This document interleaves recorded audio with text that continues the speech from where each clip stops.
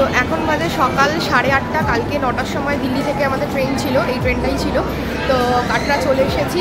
আজকে বৈষ্ণব দেবী ট্যুর হবে, তো বৈষ্ণব দেবী যাওয়ার জন্য সবাই রেডি হব আর কি। সব লাগেজগুলোকে সব অ্যারেঞ্জ করা হচ্ছে। দেন এখান থেকে এখন হোটেলে চলে যাব। তো সরাসরি হোটেলের দিকে যাওয়া যাক, পরে কথা কাটরা স্টেশনটা জাস্ট অসাধারণ, চারিদিকে পাহাড়, তার মাঝখানে স্টেশন তো খুব ভালো লাগছে স্টেশনটা তোমাদেরকে একটা ছোট্ট শর্ট দিয়ে দিচ্ছি।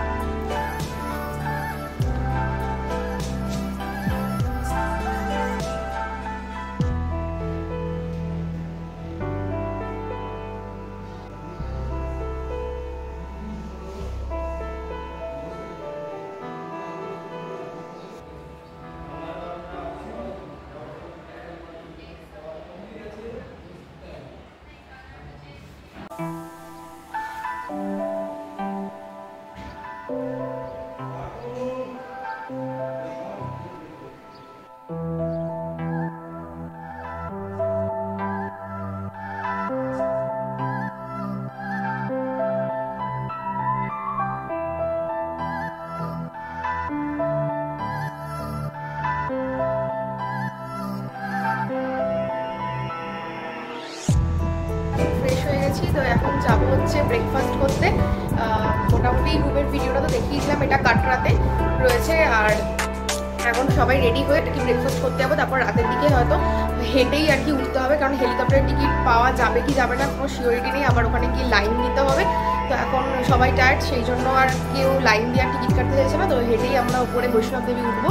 যতটা পারব হাঁটবো, তারপরে শুনছি এখানে ম্যাজিক কার বা টোটোও আছে, সাত কিলোমিটার হেঁটে যাওয়ার পর, তো ওই রকম হলে শরীর টায়ার্ড ফিল হলে তাহলে আমরা টোটো করেও যেতে পারি। তো এখন অবধি এখানেই আছি আর খাওয়া দাওয়া করতে যাব একটু পরে পরে কথা হচ্ছে।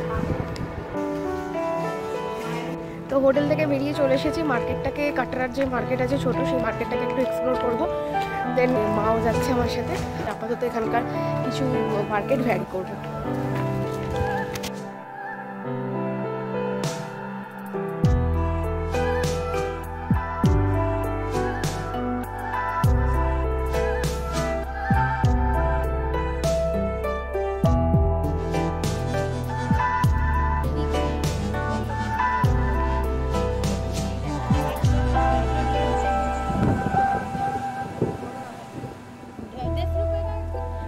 হচ্ছে বিকেল চারটে, আমরা খাওয়া দাওয়া করে নিয়েছি সবাই।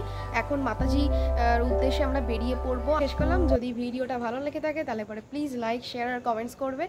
আর যারা নতুন ভিউয়ার্স তারা সাবস্ক্রাইব করতে ভুলবে না। সাবস্ক্রাইব বাটনের পাশে একটা ছোট্ট বেল বাটন আছে, ওটাকেও একটুখানি হিট করে দেবে। তো এইটা জলের বোতল